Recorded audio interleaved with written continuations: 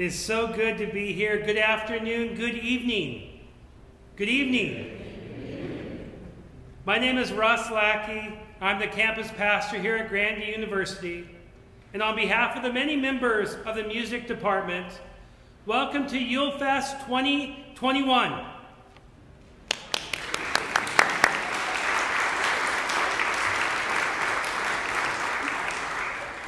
A few notes before we begin.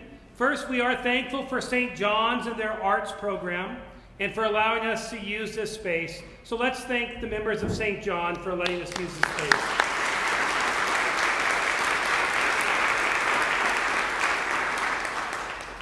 Second, please check to see that your phones are either powered down or silenced. Even today, when we were, I was preaching at church today, someone's phone went off right in the middle of my sermon. It was fantastic, but it's probably better in this recording to power that down. So I encourage you to do that. Third, following the, the service of the program, there's a reception that you're invited to, hosted by our president, Kent Henning, and his wife. And so you're all welcome to join us after the program. Fourth, there's a free will offering that will be collected during the service. The free will offering goes to support our music program, so I'd encourage you to be very generous in your support for them. Finally, this is a wonderful event. I know I missed it last year to be in person. I am so glad to be here. I know you are as well. I see parents kind of waving to their kids. This is absolutely wonderful. So let's thank God and let's thank the students for this wonderful day.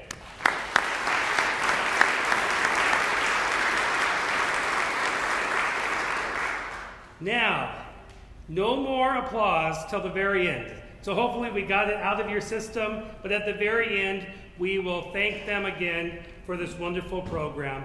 But between now and then, no more clapping. And it's hard sometimes. I have to sit on my hands because I do love the music so much. But now we turn to the program. God's people sing. It's what they do. Before his betrayal, Jesus sang with his disciples. Before battle, Israel's army would sing. Music helps give us faith, it helps strengthen resolve. And after this past year, we need music more than ever to inspire us. We need programs like this. We need to sing. We need to gather in song. But what story shall we tell with our music? What song should we sing? There's no sweeter music to inspire us than the Christmas story, where we hear of God's great love for the whole world and for all of us. So sing out, choir, and lead us, wind and ensemble. Bring us to the manger so we can behold the Christ.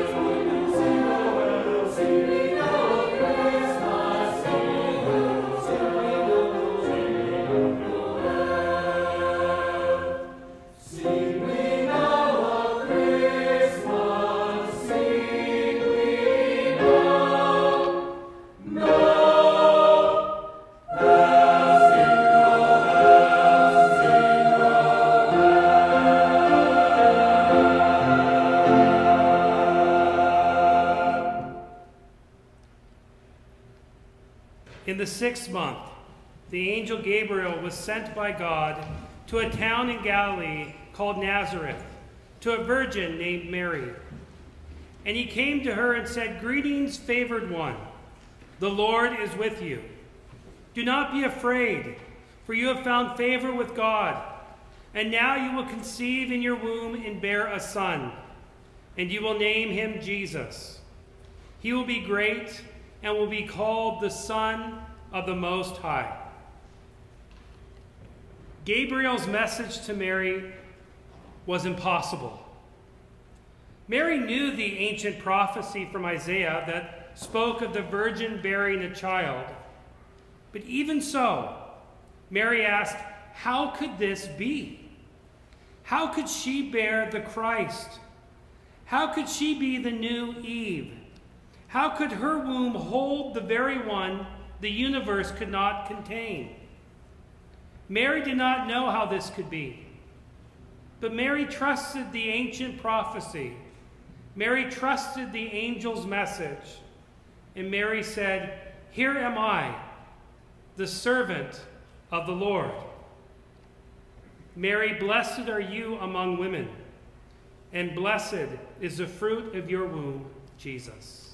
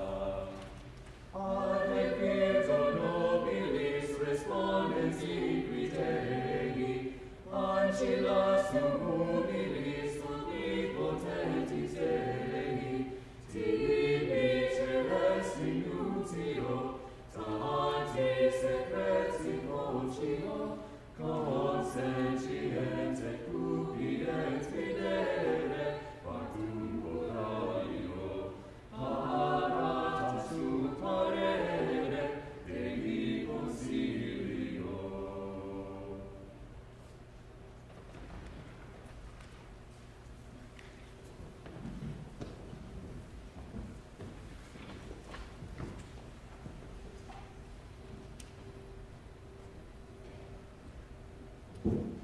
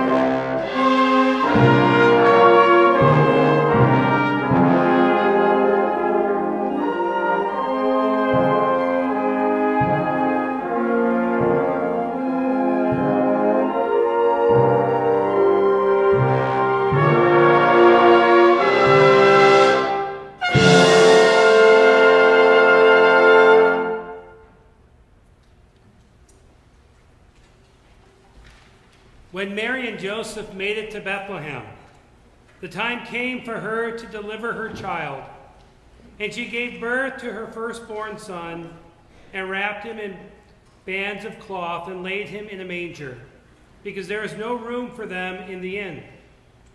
In that region there were shepherds living in the fields, keeping watch over their flocks by night. Then an angel of the Lord stood before them, and the glory of the Lord shone around them, and they were terrified.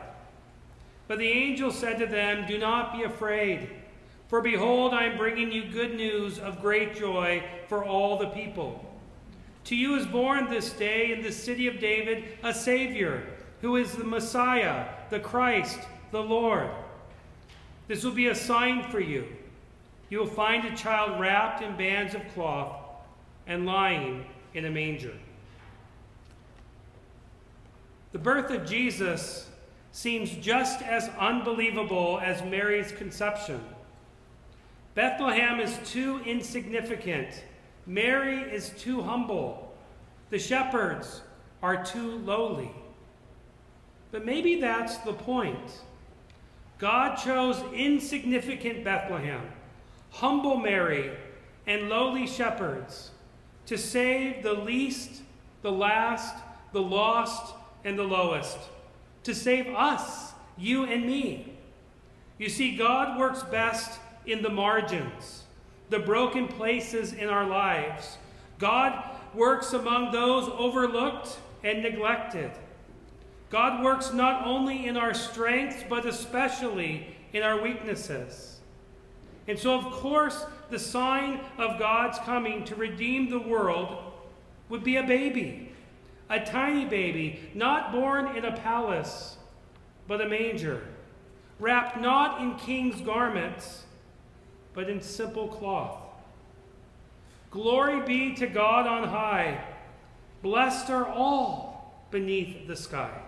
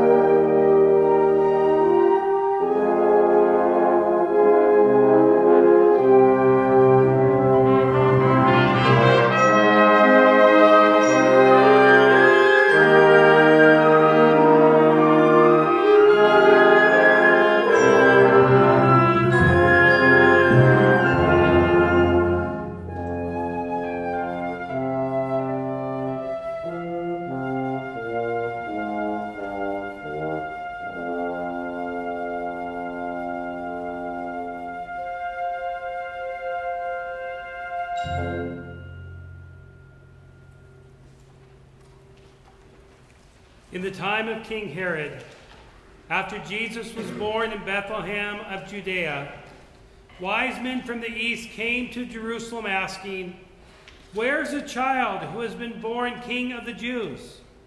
For we observed his star at its rising and have come to pay homage to him. When they saw that the star had stopped, they were overwhelmed with joy. On entering the house, they saw the child with Mary, his mother, and they knelt down and paid homage to him. Then, opening their treasure chests, they offered him gifts of gold, frankincense, and myrrh. Who were the, the three kings or wise men? We do not know their names, their nationality, or age. We do not know if they traveled by camel or if they walked. What we know is that they came from the east and they brought gifts of gold, frankincense, and. You know that story too. We also know it was a star that led them. That's what stars do. In dark times, in dark days, in dark places, stars help navigate the way. Thank you, students, for being a star for us this evening. Now, of course, you are all stars to your parents and loved ones. Your smiles lift up and light up the room. In fact, I'm going to ask you now, because your parents are gathered and they want to see your pretty faces, take down your mask for just a second and smile to your parents. Look at they're waving at you. You can wave back. It's okay. Absolutely. But that's not why I'm calling you a star. That's not what I mean. You've been stars for us this evening because in these dark days, your music points us to Christ and it calls us to follow. How beautiful the sky with the sparkling stars on high, drawing our hearts to heaven.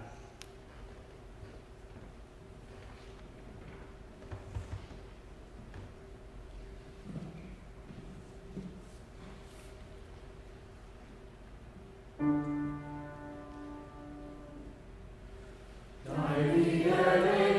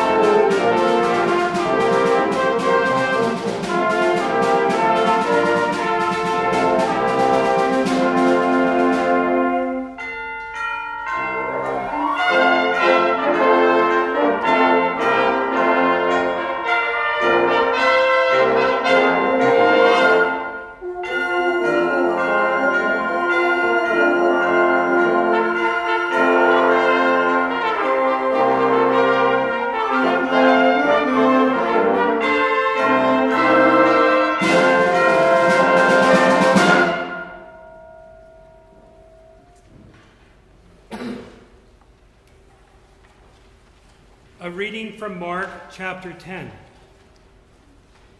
People were bringing little children to Jesus in order that he might touch them. And the disciples spoke sternly to them. But when Jesus saw this, he was indignant and said to them, Let the little children come to me. Do not stop them, for it is to such as these that the kingdom of God belongs. Truly I tell you, whoever does not receive the kingdom of God as a little child will never enter it. And Jesus took them up in his arms, laid his hands on them, and blessed them. Tonight, you've heard half the Christmas message. You've heard of angels, Mary, Joseph, shepherds, the star. But all of this was meant to bring you to the manger. For the other half of the message is to know that all of it has been done for you. Jesus was born in a stable for you. Jesus lived his life for you. Jesus died on the cross for you. Jesus will come again for you. It is for you. It has always been for you. So come, young and old. Come as little children and receive the kingdom of God. Let Jesus take you into his arms, just as he took the little children into his arms and blessed them. Let him bless you. God's Son, for a gift, has been sent to you this night to be your Redeemer, your joy, and your delight.